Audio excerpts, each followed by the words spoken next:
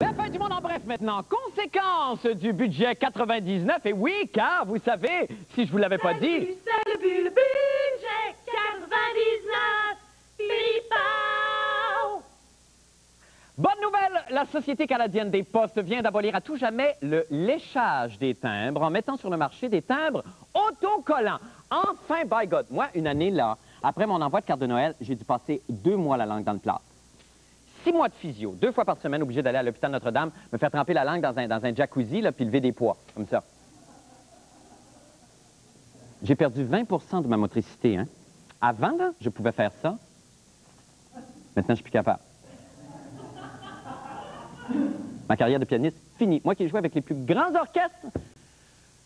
Qu'importe, afin d'avertir tout le monde de ne plus lécher les timbres, Poste Canada a produit une vidéo afin d'informer la population du changement. On regarde. Coucou Coucou Coucou C'est le facteur de Poste Canada. Il a une enveloppe et des timbres. Mais faut pas que tu liches Écoute la musique Il y a une surprise dans la boîte. Hé Bonjour, je suis le petit bonhomme des nouveaux timbres que t'as plus besoin de licher. Mais non À ce temps, t'as rien qu'à l'enveloppe.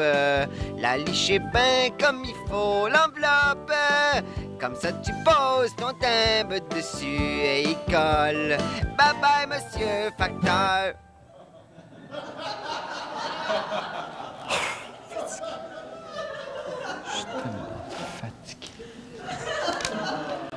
Vous savez, j'aime, j'adore les foires. Moi, les ballons, les clowns, les femmes à barbe, rien ne me rend plus joyeux qu'une bonne grosse foire. Il y a quelques années, là, avec Fabienne et les enfants, nous passions tous nos samedis à la foire du ventilateur. Youpi doulai. Mais un conseil toutefois, si vous allez à la foire du ventilateur, ne prenez pas vos enfants sur vos épaules pour voir les clowns. Parce que pour un moment de plaisir, des milliers de dollars en broche.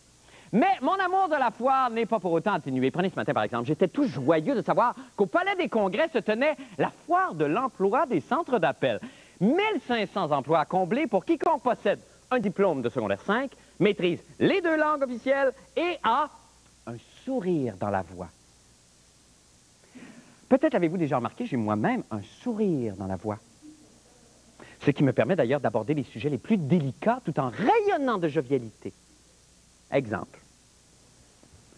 Oh, je n'ai jamais vu des hémorroïdes de cette taille. Hé les enfants, on se fait un popcorn. J'ai loué une cassette du film de Léa Poule. Hé les enfants, on se fait un popcorn. J'ai loué les hémorroïdes de Léa Poule. Ça vient juste de sortir. Selon les critiques, c'est ce qu'elle a fait de plus personnel. Alors donc, ils étaient des milliers comme moi, le sourire dans la voix, à vouloir un emploi dans un centre d'appel, comme par exemple à la Banque Royale, ou chez Visa, ou dans des compagnies d'aviation. Faut dire, pas difficile aujourd'hui de sourire, puisque c'est la journée du budget. C'est le but, c'est le but, le budget 99. Pipao. Ah, Jacques,